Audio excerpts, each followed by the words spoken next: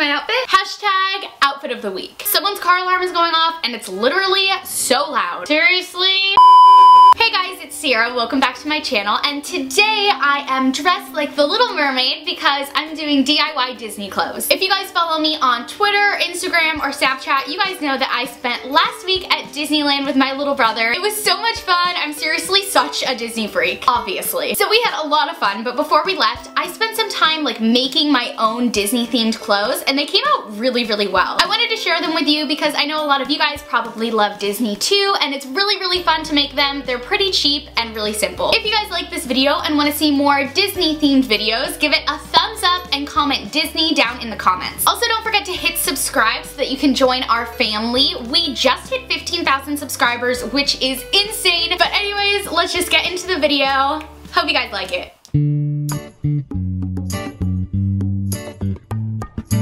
So the first DIY is a Disney must, and that is a pair of Mickey Mouse ears.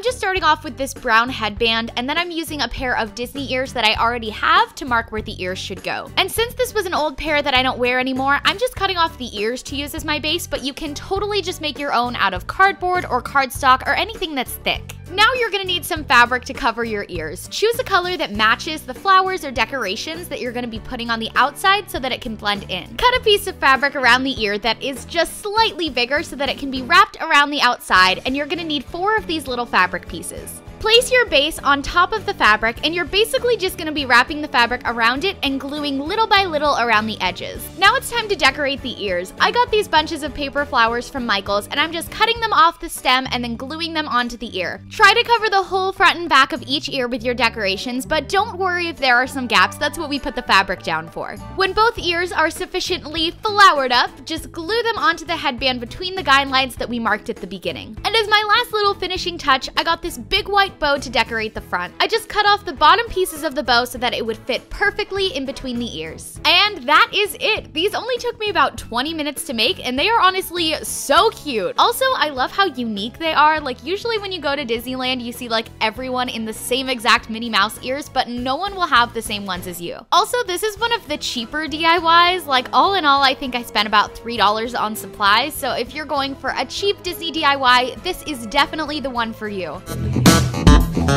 Baby, I knew it once that you were meant for me. Moving on to the second DIY, and that is these little Minnie Mouse sneakers. So the first thing that I'm doing is just taking these little bows, which are actually infant hair bows, which I know seems weird, but they were like the perfect size. And I just hot glued these onto the back of each shoe. And then you're just gonna need some white fabric paint and these little like half circle sponge brushes. And I'm just dabbing the sponge brush in the paint and then pressing it onto the shoe to form a perfect circle. When you're true to your heart. And if you don't use enough pressure with the sponge brush, it's gonna be a little bit patchy in the circles, and that's totally fine. You can just go in with a fine tip brush later and kind of touch it up. And the last thing I did is totally unnecessary. Honestly, you can't even really see it, but I thought it made it look a little bit more like designed, is I took a fine tip Sharpie and I just kind of outlined the stitching on the front. And that is it for my Minnie Mouse shoes. The shoes themselves were, I think, $12. I got them from Target. So not the cheapest DIY, but also for a pair of shoes, still pretty cheap. Plus, they were actually really comfy. Over, sideways, and under on magic carpet ride.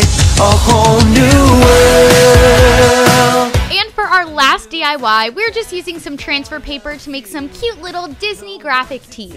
So the first thing you're going to need to do is find the images that you want to print onto your shirt and then you just have to flip that image before you print it so that it's mirrored. And then you just want to print out your images onto a sheet of transfer paper. Once you've printed your images, you just want to cut them out and leave a little bit of a white border around the image so that it doesn't peel off when you wash it. And if you don't have an ironing board, just lay down a pillowcase onto a hard surface and then lay the t-shirt on top of that. You want to iron all the wrinkles out of the shirt before you do the transfer paper so that the image comes out totally smooth.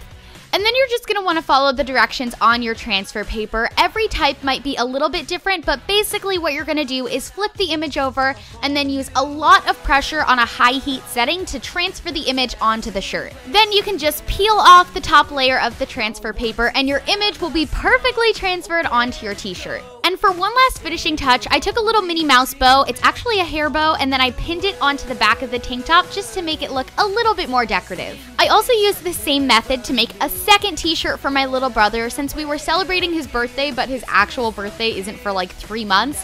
I made him a shirt that said, It's my unbirthday with the Mad Hatter hat, and it seriously looked so cool. So, yes, 10 out of 10 would recommend the transfer paper for Disney DIY shirts.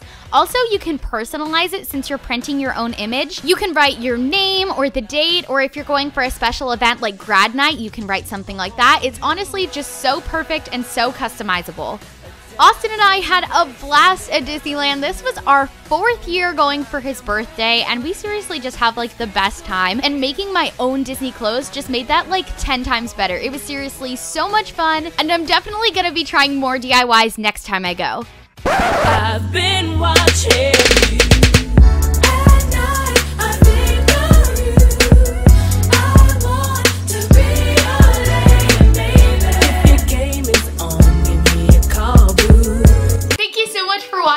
Really hope that you guys liked this video. It was so much fun to do something Disney themed since I'm like such a Disney freak. If you guys try out any of the DIYs, I would love to see how it worked out for you. Go ahead and just tweet it to me or tag me in it on Instagram and I want to see how it all came together. And if you liked this video and want to see more Disney themed videos, comment Disney down in the comments so that I know. Alright you guys, that is it for this princess and I'll see you guys next week. Bye!